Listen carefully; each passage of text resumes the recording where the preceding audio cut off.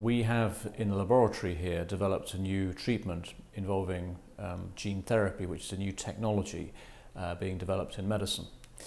We are treating a disease which is called choroideremia, and this disease affects young men.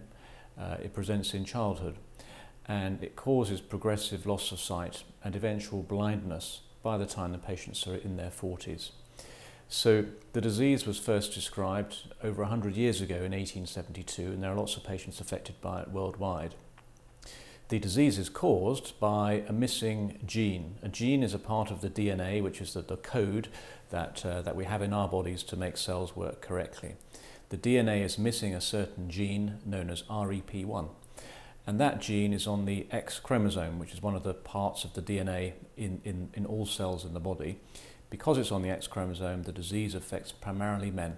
Uh, it causes sight loss in men and presents in childhood. So gene therapy is a technique we use where we artificially make the missing gene and we use a virus to put it back into the cells that need the gene in order to survive.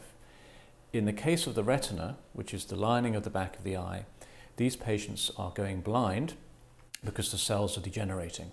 So what we plan to do and what we are doing in this clinical trial is we are injecting the gene back into the cells and we're using the virus to carry the gene to infect the gene into the cells and then hopefully preserve vision in these patients who've got this terrible disease.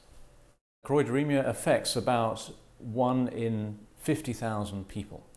So that is a fairly rare disease, but it's prevalent worldwide.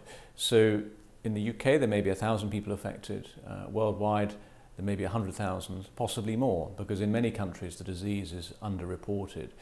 What's unique about it is that it's instantly recognizable to most eye specialists. So if we can look into the back of the eye and we can see a disease where we know the genetic cause by its appearance, it's much easier to develop a gene therapy treatment because, of course, we can instantly collect a load of patients without needing to do complicated genetic testing because we can sort of see what the disease is at the very beginning. So far, we have injected six patients, treated six patients, but we have a, um, approval to treat a further six, which we'll be doing later this year. The preliminary results of the study are very promising, but any primary study on something new like this is designed around safety first of all and once we're happy that the treatment is safe we can then expand the trial to include more people and of course look at more complicated outcomes of their vision.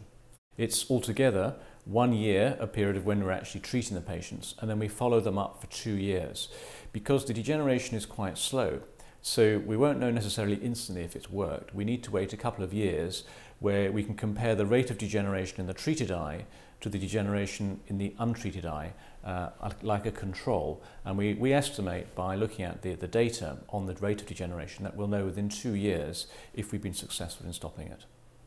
Well, we engineered a viral vector which we designed in our laboratories and tested um, in the University of Oxford. Uh, And the vector which we designed has to be made in a certain way to enable it to be injected into patients. Obviously, you can't just inject viruses into patients because there could be some toxic effects.